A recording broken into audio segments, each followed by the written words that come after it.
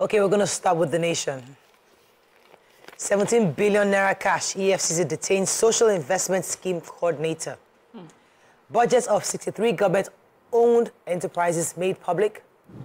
Sanwo-Olu arrests soldier, three others for riding against traffic. Government withdraws recognition for Benin Republic and Togo varsities. Stock market opens with 665 billion naira gain. Why lawmaker Ehi resigned by Fubara. It's my turn to be Edo's next governor, says Shaibu. 10 billion naira scandal rocks NIPOST's restructuring plan. Governors lift Plateau killing victims with 100 million naira. 11 killed in Kwara multiple road crash. Okay. Okay, so I have the 10 billion um, NIPOST uh, scam. So the Senate was investigating or has ordered a probe into the 10 billion restructuring funds released to NIPOST by the Federal Ministry of Finance. This is because they discovered that NIPOST Properties and the uh, Development Company and NIPOST Transport and Logistics Services had some irregularities in their in their agencies' um, account. So they resolved that it must be uncovered the alleged illegal transfer of federal government shares in two of these NIPOST um, subsidiaries to private individuals. What they discovered was that the BPE, the Bureau of Public Enterprise, and NIPOST staff members were listed as shareholders of the two of these two agencies um, I earlier read out. And so they've ordered that the records of these companies be confirmed by the CAC and some top officials of the BPE uh, um, control significant shares of these subsidiaries, which should not be. Um, one of the um, somebody spoke on, uh, anonymously saying that you know it would be wonderful to find out a few years that the next of kin of these the various individuals show up claiming federal assets Yeah. Yes. as properties of theirs, and that you know these are things that shouldn't be. I expected that the BPE would have even done something very, very uh, neat and transparent. Right. They emphasize the need for um, prudence, um, you know, um, diligence, and transparency. Eh, lack of, co- I mean, you know, transfers without corruption in this arrangement, and they're insisting that NIPOST be investigated on this particular funds. All right, let's take another story, nation. So- go ahead. Okay, I have the major headline. So um, the CEO of the National Social Investment Program Agency, Halima Shehu, yesterday was suspended and shortly after arrested by the EFCC in connection with um, what is described as a movement of 17 billion from the NSIP account into some suspicious um, accounts within one week. Um, they said that the money has been intercepted and recovered, but she's still in detention as of you know this morning. And um, there's also going to be a quizzing or interrogation of the ex the former Minister of Humanitarian Affairs, Disaster Management and Social Development, Sadiya Umar Farouq.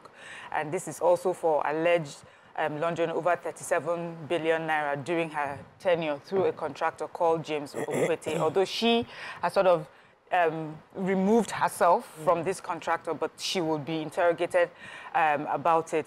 But how Halima was um, um, was involved or how she finally got arrested. He said it took the wading in of the president because she had refused a direct directive to work with the minister, the current minister of humanitarian affairs, that's Dr. Betta Edu, to pay an outstanding and statutory stipends to beneficiaries of N-Power. Um, they said that, you remember the 30,000 monthly Yes.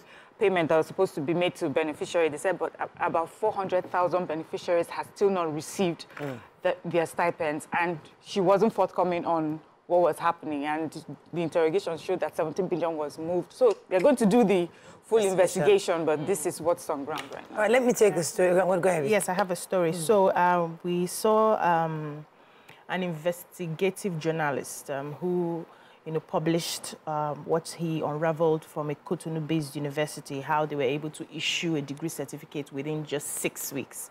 And um, afterwards, I also saw that report online. And afterwards, the federal government uh, announced the suspension of evaluation and accreditation of degree certificates from neighboring Benin Republic and Togo. And he said, um, they said in um, a statement yesterday in Abuja by Augustina Obilor-Duru, on behalf of the Director of Press and Public Relations in the Federal Ministry of Education, the federal government, you know, also frowned at how, you know, Nigerians or other people are going about getting uh, fake certificates using dubious means in these universities. And said they also commended the investigative journalist for the work that he had done. And um, they are saying that, um, you know, the reports that he gave was what led credence to all the things that they had suspected for a while now. And so they are going to be, uh, that's the Federal Ministry of Education, uh, is um, decrying the act. And they're saying with effect from January 2nd, 2024, they are suspending their evaluation and accreditation of the degree certificates from these universities from Benin Republic and Togo Republic. And they're also going to go ahead to investigate exactly how the staff were culpable, what um, you know uh, validations they've gotten from the Ministry of Foreign Affairs of Nigeria and all the countries that are involved in this. They're going to be involved in the NYSC uh, because most of those certificates they get, they also get into NYSC with the fake certificates.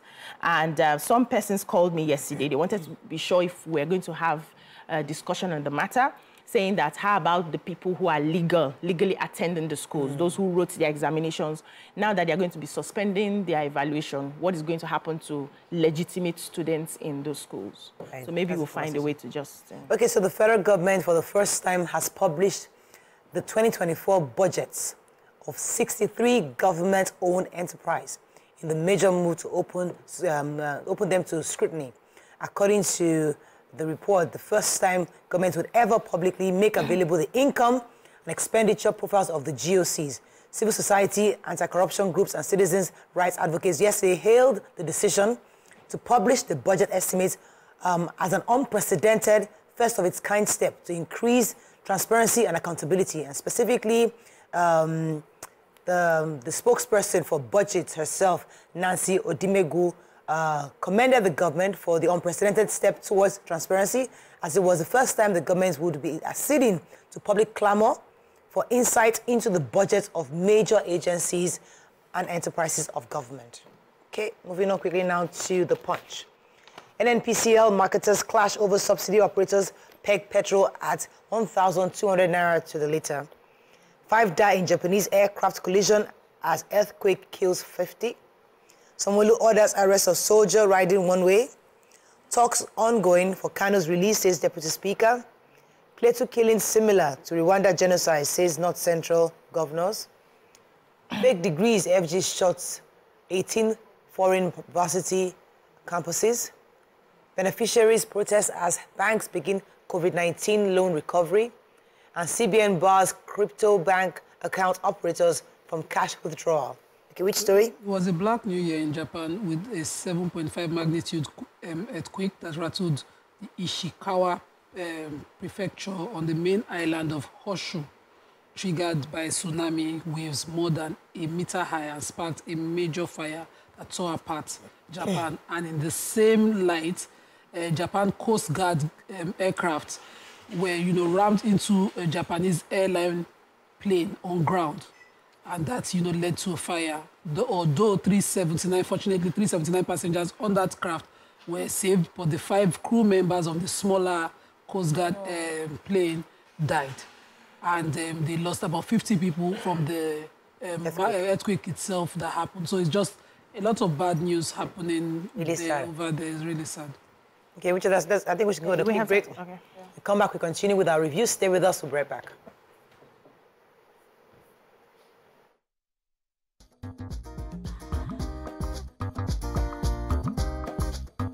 Stay tuned. Your view will be right back.